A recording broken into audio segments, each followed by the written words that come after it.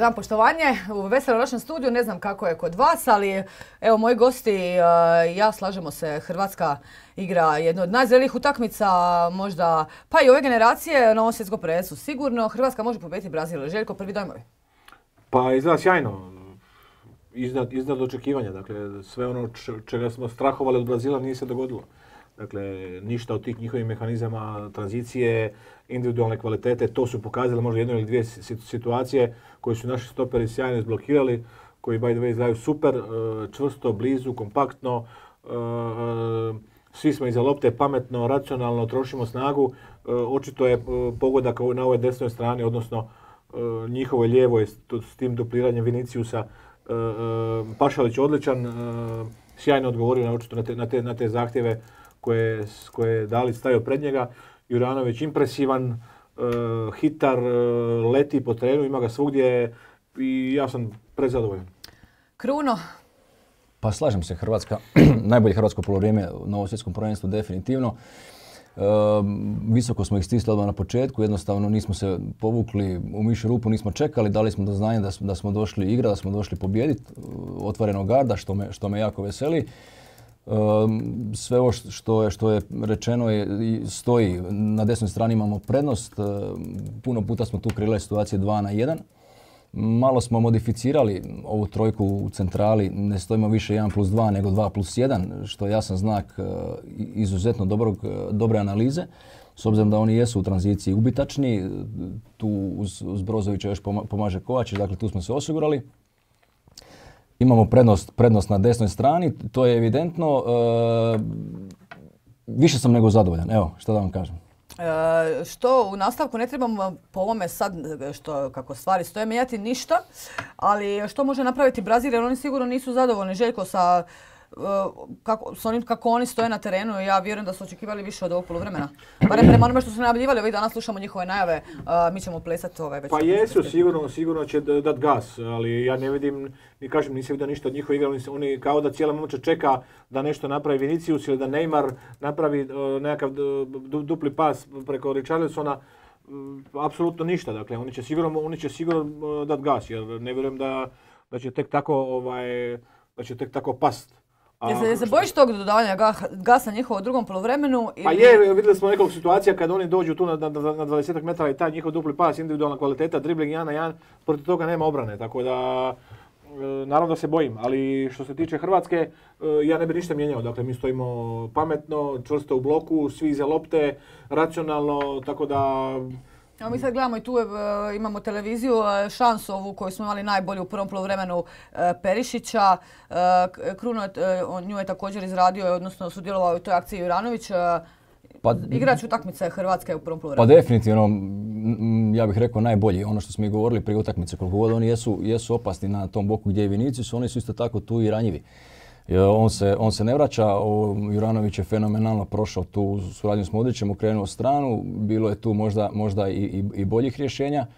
Ali dobro, završili smo šutom, to je, to je najbitnije. Najbitnije kad odeš s puno igrača prema naprijed da završiš akciju kako god. Tako da te ne mogu iskontrirati. E, imamo svoju šansu, ja vjerujem da ćemo, da ćemo što utakmica bude odmicala i što više budemo u nuli, da će biti sve veća nervoza na strani Brazila, a to je naša šansa. E, teška utakmica generalno i za nas i za njih. Željko, ja sam, e, ja sam iskreno, ja sam uh, očekivao agresivniji, konkretniji Brazil. Uh, I to je ono što, što je izostalo i to je, to je sjajna stvar za nas. Uh, pogotovo u tom, u tom mentalnom, psihološkom smislu da, da ovaj, vjerojatno su i dečki naše čitali i te puste analize i, i očekivanja od Brazila koji je zapravo po meni zaista u, u što je do sada, do sada pokazao turniru bio najbolj, jedan od najboljih, pored Francuza, najbolja, najbolja momčad turnira ja sam i dalje uvjeren ako, ako, ako prođemo Brazil da, da, da idemo do finala. Tako, ali kad pogledamo Brazil, e, e, sad ima pritisak utakmice velike, nokaut faze. E, do sada generacije Brazila mnoge su padale na tim preprekama. Brazil je imao mnoge generacije koje su također bile moćne kao i ova, pa sjećamo se to, dvije druge su bili svjetski prvaci. Ovu generaciju uspoređuju sa tom generacijom, ali možda se može dogoditi da i za njih mentalno ovo ne bude izvediva prepreka? Ma dobro, vi kad dođete među osam najboljih reprezentacija na svijetu, onda tu više nema slabog protivnika. Jednostavno, naša reprezentacija dugi niz godina u samom vrhu svjetskog nogometa. Prošle, god- prošle svjetsko prvenstvo smo bili drugi,